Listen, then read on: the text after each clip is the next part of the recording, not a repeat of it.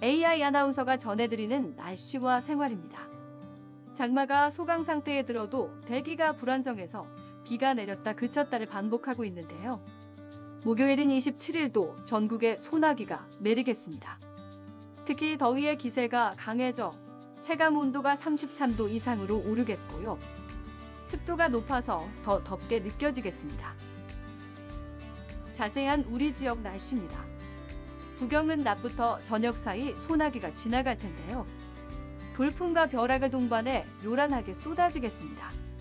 특히 소나기가 내려도 푹푹 찌는 날씨는 계속되겠습니다. 무더위 속에 지치지 않도록 건강 관리에 힘써주시기 바랍니다. 부산 아침 기온은 25도입니다.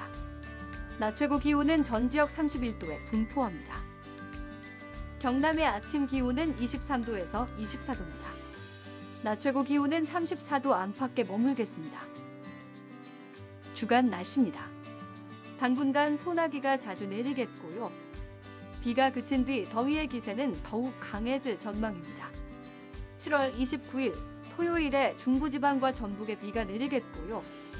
7월 30일 일요일에 수도권과 강원에 비가 오겠습니다.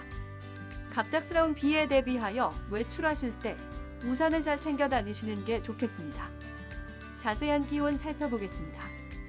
7월 28일 금요일부터 8월 1일 화요일까지 아침 기온이 23도에서 26도에 분포하겠고요. 한낮 기온은 29도에서 35도로 평년과 비슷하거나 조금 높겠습니다. 제5 태풍 독수리의 이동 경로에 따라 강수 구역이 변경될 가능성이 있으니 앞으로 발표되는 최신 예보를 참고하시기 바랍니다. 바다 날씨입니다. 바다의 물결은 전해상 앞바다가 비교적 잔잔하게 일겠습니다. 다만 바다 안개가 짙게 끼는 곳이 있겠으니 해상 안전에 유의하시기 바랍니다. 생활 정보입니다.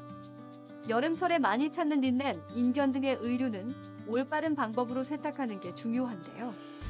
세탁기를 이용할 경우 옷감 보호를 위해 세탁망에 넣은 후 물코스로 세탁하는 것이 좋습니다.